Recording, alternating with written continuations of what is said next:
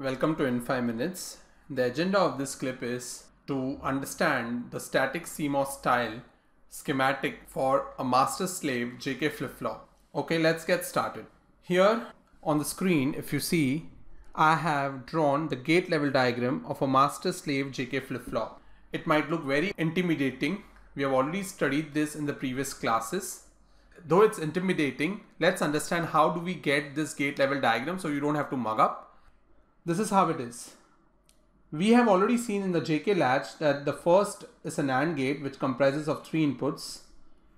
So let's draw that.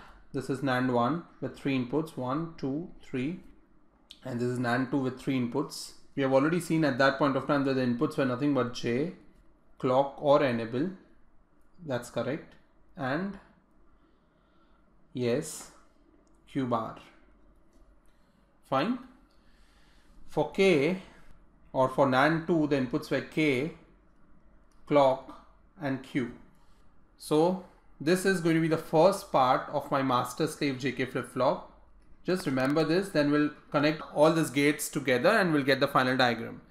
The next is nothing but an SR latch without an enable signal NAND based. So let's quickly draw that. So it was nothing but NAND.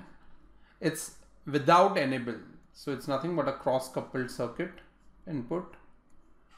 This is how it's going to be and this output will go here and this is my second input.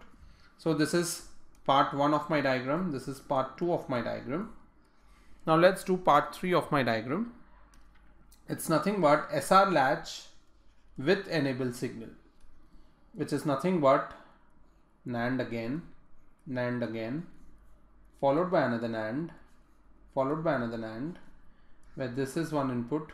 This is nothing but clock or enable whatever you want to call it. This is another input. Output goes here. The output goes here. And the second input is nothing but the output from here. Same is the case with this NAND also. So this is nothing but my SR latch with enable signal. So with this we are all set. Let's understand how this is my first stage so output of my first stage will go to my second stage input. And this let's call this x and this call as y. So this is connected to x and y. So when you draw this three together this is what you get. This is your first stage here. This is your second stage here. And this is your final stage here so that gives you the gate level diagram. So there's nothing to mug up. It's with clear understanding. In the previous clips, we have also seen that the latch differs from a flip-flop where there are two latches or there are a combination of latches connected where one latch or where one part of the circuit operates on clock then the other part operates on the opposite polarity of clock. See, if we do this, we get a flip-flop. Again, if you see the circuit, we are able to achieve that as well. If you see properly, my clock is going to my NAND 1 and NAND 2, whereas this is nothing but a NAND based inverter. For simplicity, I'll draw an inverter only. Whereas clock bar is going to NAND 5 and NAND 6.